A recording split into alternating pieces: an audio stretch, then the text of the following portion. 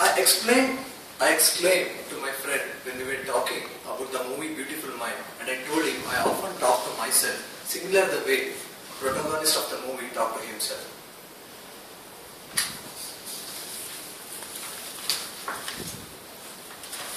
Yes, I often talk to myself in a natural voice as I talk to any one of you. I call him the dark passenger of my life. Not because he gives me evil thoughts, but I only him when I am alone in a room with, with lights turned off or when I am taking a long, long walk after dinner.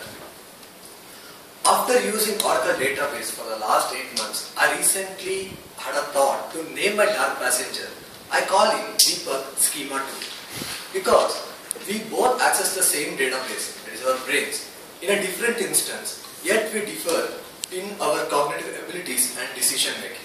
Good afternoon, fellow Toastmasters, guests, and my dear friends.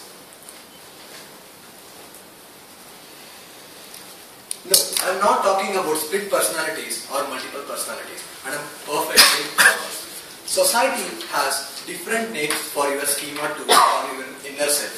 Some call it its conscience, some call it as inner self, some even call it as a disguise of God who will who helps us make good decisions.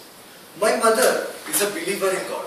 She prays almost every day. She is a theist. And my father, a, a atheist. As any mathematical reduction turn out, minus 1 plus 1 divided by 2 is 0, I am agnostic. So I decided to call the God a special engineer. He is a connoisseur of arts. He is a civil engineer for the design of human beings or be it any living things. He is a mechanical engineer. Look at the synchronization of our limbs with our body. He is an electronics engineer. Look at the design of nervous system and the way we feel, uh, the way we react to response to external stimuli. And he is also a computer science engineer because we are all blessed with unique thinking abilities and reaction. He is an engineer and I say he, he, has blessed us. It's, it doesn't seem so right. So let me mm, modify it as he has installed us with features that you can make use of.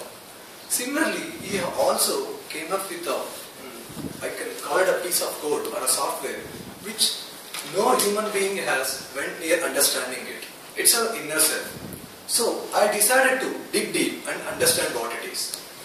The four aspects that came to my mind when I started thinking about my inner self are dreams, karma, Maktub, and conscience. So let me talk about dreams. Dreams, people think dreams are dreams are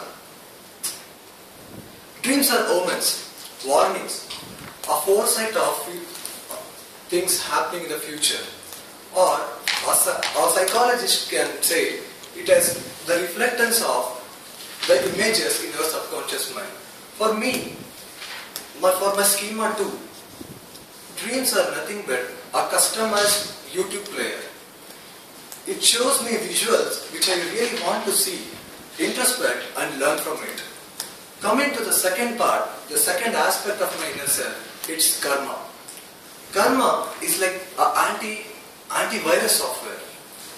An antivirus software because it is an external justice system which will torment us, which will doom us to suffer if don't, my instance, say, do not update it.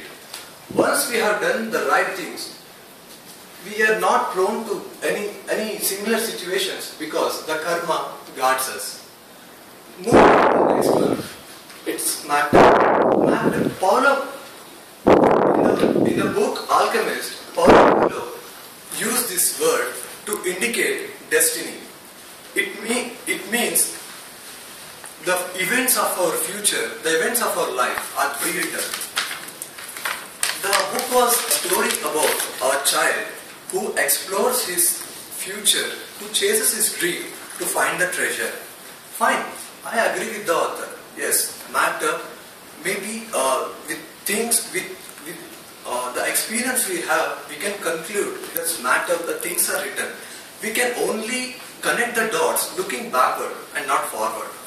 But look at us, the prejudice in the youths are, it's a preconceivable thought we connect to a matter. Say example, my friend had a very good opportunity to get a scholarship in a very good university abroad and he decided to study for it. But later he was so lazy to do it and he missed it. And later when I asked him about it, he said, it's Maktub dude, it's Maktub, everything is written, I couldn't make it. Okay, well, anyways we got into a good university later on. Look at my second example. I had, we had uh, on a Sunday morning, two of my friends, we decided to meet together and one didn't turn up. After tens of hundreds of missed calls to him, later he picked the call and he started saying, what's up dude? We were all waiting for him and he turned, he didn't turn up. For him, not acting, not coming to the meeting or being lazy was pre-written, which is simply unacceptable. It's preposterous, it's cantankerous.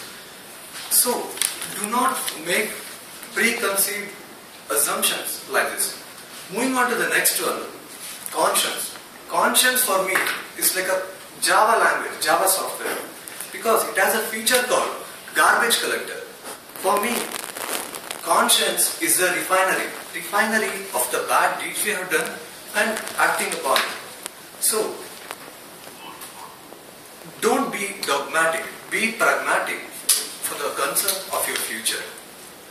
When it comes to life, I urge you not to make any decisions which I have told from my examples. When there is a knock on your heart and you acknowledge it, uh, it to be your conscience, please welcome it with a smile. Talk to it because it's always right. Make it your priority one two. talk to it and do the same thing. At last, listening to all this, the question still stands. Will you, will you, or will you do it? What?